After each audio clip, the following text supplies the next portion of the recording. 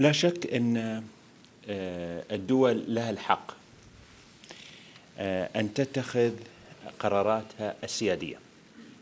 الولايات المتحدة آه، اتخذت قرارا من ضمن قرارات السيادة الأمريكية والسيادات الدولية.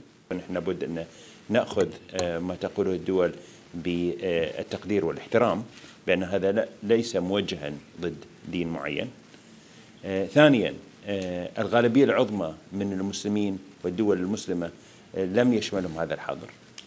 ثالثا هذا الحظر مؤقت وسيتم مراجعته بعد ثلاثة أشهر. بعض هذه الدول التي جاءت على هذه القائمة هي دول تواجه تحديات هيكلية في دولها نفسها.